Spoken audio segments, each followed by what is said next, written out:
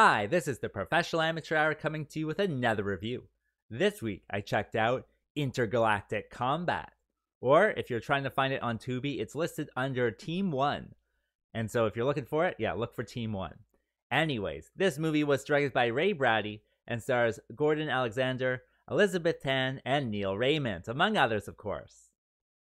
The story of this movie is that there are actual aliens in the universe. So they come to Earth and they say, you know, Earthlings, you can participate in the intergalactic community. However, they run it through this like fighting competition. I don't know why, but uh yeah, so they say, you know, Earthlings, you have one year, we'll be back find your best fighters, and you'll be able to participate in the intergalactic fighting competition. And so this movie follows a bunch of people in the UK as they do the kind of the system of trials to try to figure out who's best Uh, for the UK team. And then, of course, they'll go to the international team and then hopefully the intergalactic team. But who will make it though? Well, you have to watch the movie and find out. All right, so let's discuss this movie. Well, what can I say that's positive about this movie?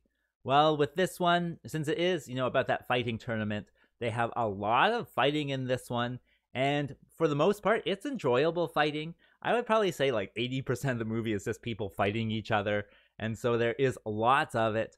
I did enjoy all the different types of fighters as well. They have different ones, you know, female fighters that have a special style. There's one girl who like drops her shoulder and is ready to, you know, punch with the other hand. There's a bunch of guys fighters as well. There's one that's clearly into like taekwondo with with the gi and everything like that. There's a bouncer guy, and I think he was my favorite. I couldn't find him in the credits though. His name was like Ricky Roy or something in it, and I couldn't find that character in the credits. So who knows what happened there? But lots of different fighters, and lots of them that you know you like to root for them. They also have like ninjas and stuff that pop in there as they start fighting as well. And so there's lots of fighting, and I gotta say, for the most part, it's a blast just to watch these guys fight. So all of that type of stuff is definitely pretty good. Other than that, this movie is pretty funny, but probably for the wrong reasons. With this one, their CGI is like just so bad. I had to laugh at it. It was really kind of charming how they all do it. With the aliens, you only see them for like a minute or two, but when you see them, they just look so silly. And they're like flipping aliens. Like they're just doing flips and stuff. I don't know what's up with them, but they're funny to laugh at for sure. So check this out. They are superb warriors, but they are also opponents who never show mercy. In addition to the aliens, they do have some like fights that have not green screen, but like they've keyed out the the walls and just put in whatever they wanted. And it's like done in like a high school gymnasium, so you can see the wooden floor still, and you can see all the markings for basketball or whatever it is on there.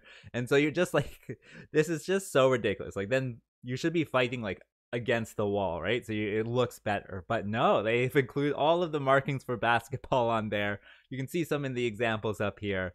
And even like within the fight, sometimes the background will like shift halfway through and you're just like oh okay why choose that moment you i don't know also they've like there's one fight where they kind of like key it out wrong. They've keyed out like the balcony so certain angle shots like it will be correct but then just like face on you can just see the the high school walls. And they still have like the posters on the wall and stuff like that so all of this business with this background stuff is really entertaining really kind of funny. So yeah definitely adds for some laughs.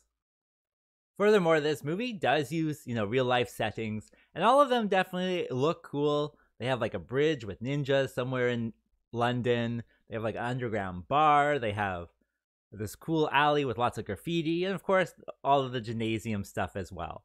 And so all of the, you know, just settings and locations they're doing that definitely, you know, add this feeling where it's happening all over London.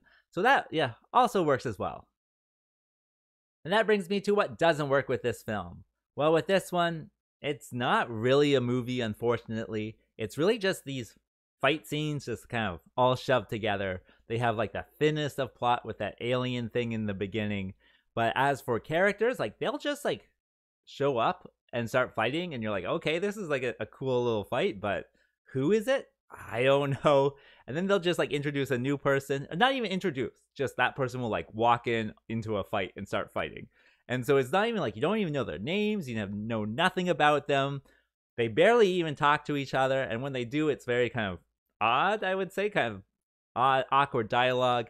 And so it's really just there for the fights put back to back. And so it's not really a movie at all. It's one of those things where it's like kind of the best of the worst, where they're failing spectacularly, and that's what you love about it. But as for story, characters, not there. So yeah, if you're looking for that, stay away. Other than that, I will say that the shooting for the fight scenes is pretty good. It's just everything outside of the fight scenes is kind of shot poorly. It's just very kind of flat, very dull.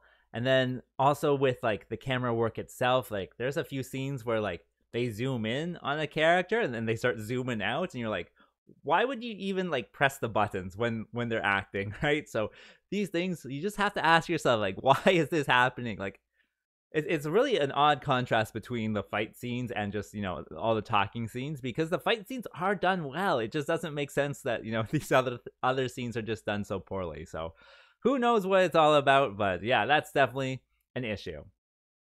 Other than that, there are certainly some like questionable scenes in this one.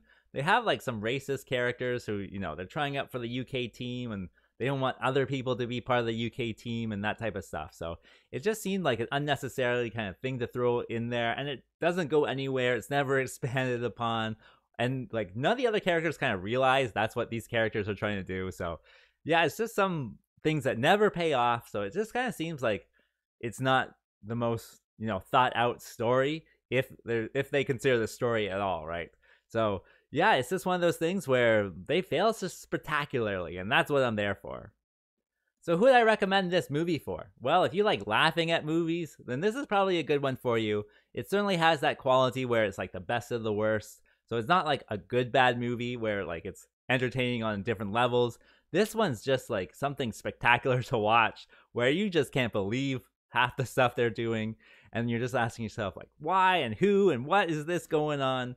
And so, all of that type of it, you know, viewing experiences in there. So if that sounds like something you want, then yeah, check this one out. As for rating, well, I'll give it the 3.4 because it was hilariously bad.